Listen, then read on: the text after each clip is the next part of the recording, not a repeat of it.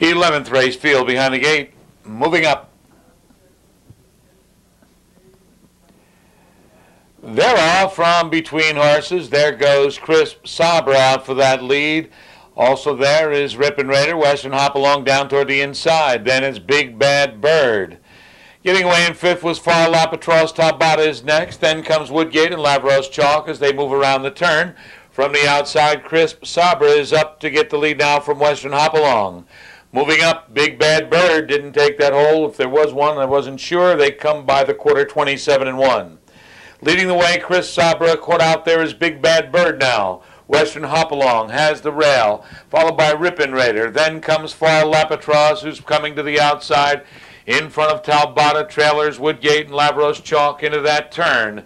Crisp Sahbra has the lead with Big Bad Bird right alongside. Western Hopalong is there. Right behind Western Hopalong is Rippin' Raider. On the outside, Far Lapatros, followed by Talbota. It's another two or three to the trailers. Woodgate and Lavros Chalk as they hit the back stretch now.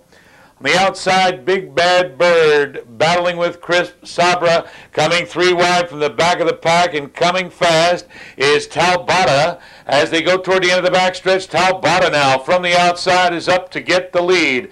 Back to second is Crisp Sahbra. Far Lapatros is out there three wide with the rail. Western Hopalong has room. Three quarters, 125 and three fifths. It's Talbota on the outside. Crisp Sahbra battling hard throughout now as they come toward the top of the stretch. It's Talbota and Crisp Sahbra, two back to Western Hopalong, and that appears to be it as they come off the turn. Leading the way, Crisp Sahbra has reclaimed the lead coming through the stretch.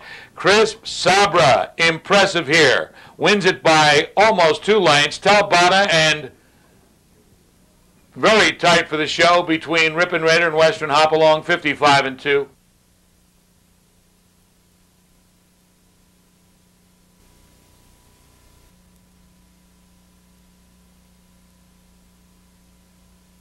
Trifecta, $163.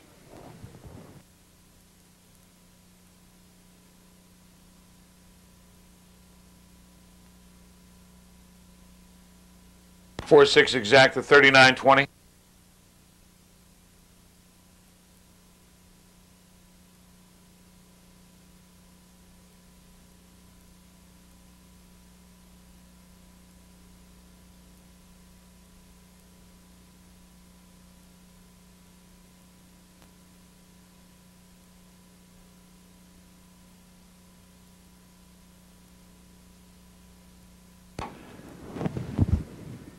Now entering the winner's circle, number four, Crisp Sahbra, 10-year-old bay gelding by Towner's Big Guy, owned by Max Walton, trained by Karen Crothers, driven to victory by Kevin Sizer, driving double for Kevin Sizer, 155 and 2 fifths.